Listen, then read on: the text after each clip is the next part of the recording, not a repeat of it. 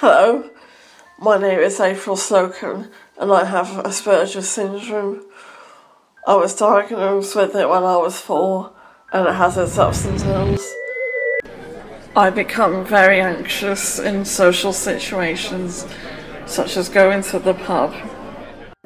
I also get frustrated when people laugh at things I don't find funny, such as dropping my ticket in the post office. However, having Asperger's also has its positives, such as my interest and talent in looming, which greatly contributes to the National Autistic Society's been doing amazing campaign. I can also recite amazing facts about music and animation.